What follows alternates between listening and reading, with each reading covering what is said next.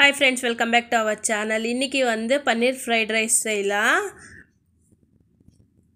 அதுக்கு நான் வந்து பன்னீரை குட்டி குட்டியாக கட் பண்ணி எடுத்து வச்சுருக்கேன். உப்பு பெப்பரு ஸ்பை சாஸ் ஐட்டம்ஸு எண்ணெய் ரைஸ் வந்து வடித்து ஆற வச்சு வச்சுருக்கேன். கடாய் வச்சு காஞ்சதும் எண்ணெய் விட்டு பன்னீர் கட் பண்ணி வச்சுருக்கிற பன்னீரை சேர்த்து நல்லா மீடியம் ஃப்ளேமில் வச்சு ரோஸ்ட் பண்ணி எடுத்துக்கோங்க.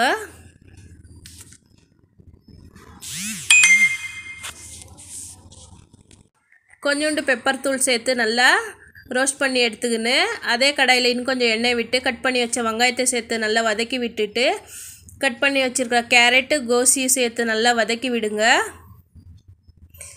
காய்க்கு கொஞ்சோண்டு உப்பு சேர்த்து வதக்கி விட்டுட்டு கொஞ்சோண்டு soya sauce red chilli sauce green chilli sauce எல்லாமே ஒன் ஒரு ஸ்பூன் அளவுக்கு சேர்த்து டொமேட்டோ கெச்சப் சேர்த்து கொஞ்சோண்டு பெப்பர் தூள் காரத்துக்கு ஏற்ற மாதிரி சேர்த்து நல்லா கலரி விட்டுட்டு நான் வந்து schezwan fried rice masala packet எடுத்திருக்கேன். அதை போட்டு நல்லா கலரி விட்டுட்டு ரோஸ்ட் பண்ணி எடுத்திருக்கிற பன்னீரையும் சேர்த்து நல்லா கலரி விட்டுட்டு ஒரு கப் அளவுக்கு ரைஸு சேர்த்து நல்லா கலரி விட்டு சூட் பண்ணி எடுங்க.